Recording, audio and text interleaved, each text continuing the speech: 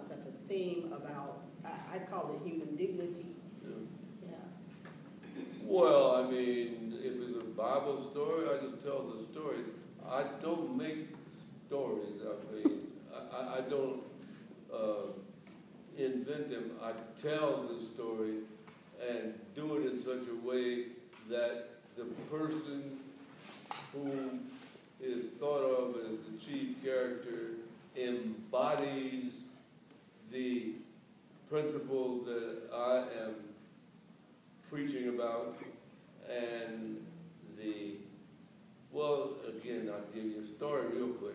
Uh, the parable of the Good Samaritan. Jesus didn't say, be thou a good Samaritan. He didn't give them any abstract words like that. He showed them a picture of a person and the person told in such a way that the hearer identifies and it is the identification with a compassionate person that makes them fond of the Holy Spirit and become more compassionate in, as a result. Before I, what time is it, someone? Eleven thirty. Eleven thirty. Okay. Um, Eleven thirty. yeah, I want, I, I want, because we, we're almost done with, the- with the conversation part, and then we're gonna eat together. Are there any other questions around the room before I ask my last couple of questions? Did you write, did you write it down? No? No, I sent up one already, but you said, is there any additional one? I did, but you could write another one. Go ahead, what, what's the question? Well, now when you free associate, where do you go? Now when you free associate, where does your mind go? I don't do a lot of free association. See, yeah, they say an empty mind is the devil's workshop. And also, the Lord can use an empty mind too. But I stay, I spend too much time worrying about things, I guess. But I don't have any whole lot of free association where my mind just Mm. flows through so many pressures. when I was getting all that free association, I had not a care in the world. so my mind was wide open. Okay. Thank you. That's a good question, though. Thank you. It's gonna make me think about where my mind goes. uh, Yeah. When free, I mean, that's. I'm not gonna ask you where. No, it goes. You can ask, but I wouldn't answer. I wouldn't answer you. Yeah. So what, this is a great question. What books do you think preachers should be reading? What do you think preachers should be reading? I think preachers should be reading a variety of books, not any one kind. Right? Uh, I read, I'm just, I guess that's why I write it. Uh, I, I read history, I like Revolutionary War and stuff like that, but, uh, that's just one kind of, uh, some people read romances and stuff like that, that's not, I, I like to read solid stuff, you know. You live in romance, you don't have to read it. Okay. Uh, but I, but I do take very seriously, uh, I actually had this conversation, uh, with another scholar last night about the fact that a lot of preachers have not fired their imagination. Like they haven't read enough that helps even their language, you know, um, the, um, the kinds of, of, um, poetry or, um, autobiography, the kinds of things that will make you think about the world that you live in, across cultural, reading something that somebody wrote, you know, it may be in English, but they wrote it in China, they wrote it in South America. I like biography, Hmm. autobiography, that's different. Mhm. And um, I like to read issue books um, when they come out, like for instance, this book, what's the girl's name?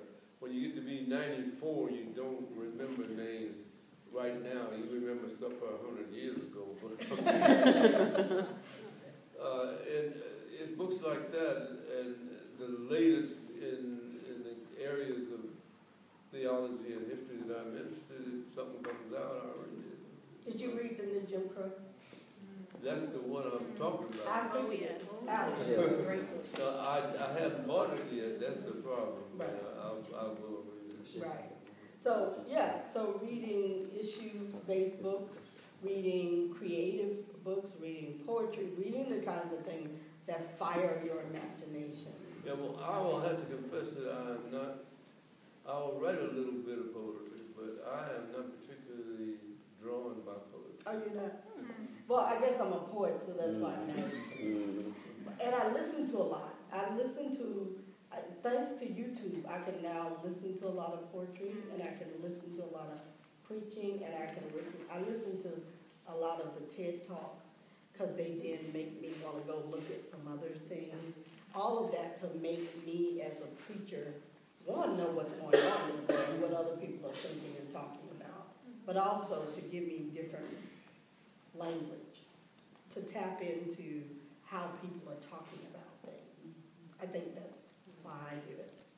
So my, I think this is my last question for you, I think.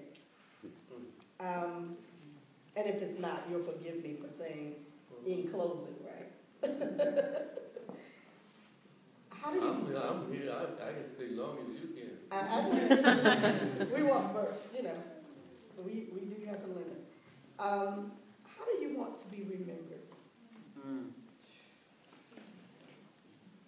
Just want to be remembered. Wow. Uh, Wow. I think that too many different people with whom I have too many different relationships to be thought of as any one, um, person. When I was in my forties and thirties, I was, uh, raring, tearing in conventions when they had big, con- I mean, I actually got in a, I didn't get in, the man hit at me and I knocked him down, but it wasn't because I was fighting him, he was coming after me because I told him we could get another president. And, uh, but, uh,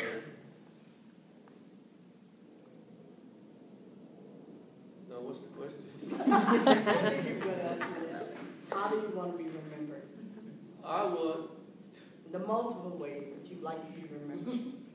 well, I would like to be remembered as a person of helpfulness and compassion and,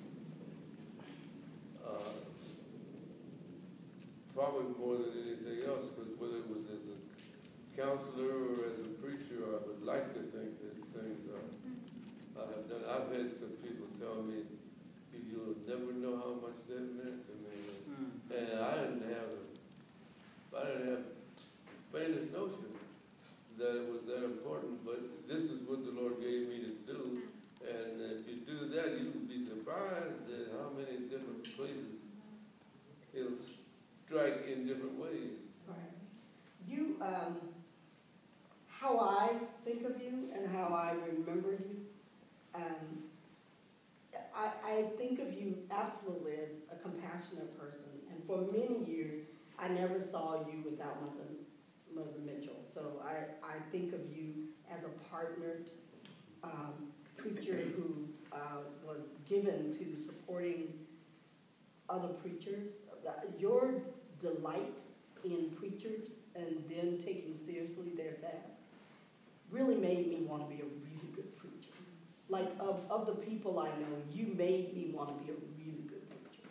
Whether I pulled that off or not, time will tell, but you made me want to be that. So I want to tell you that.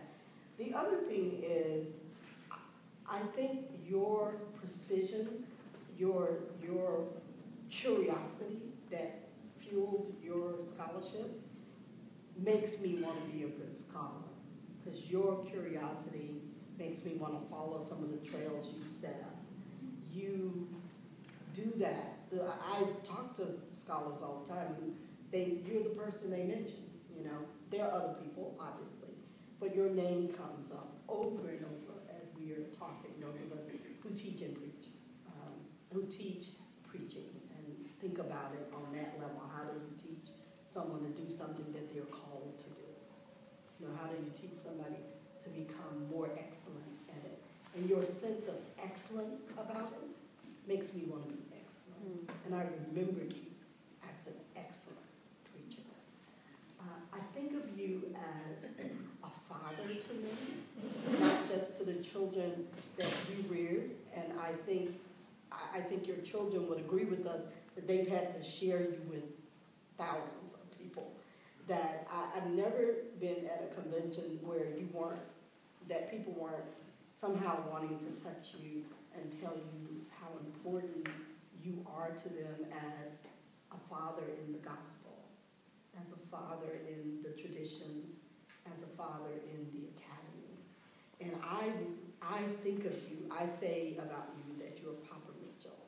Because to me, Baba, a Papa, which is that sort of African, says even more deeply, Father. Um, and, and you have been that, not just to me, but to hundreds of people.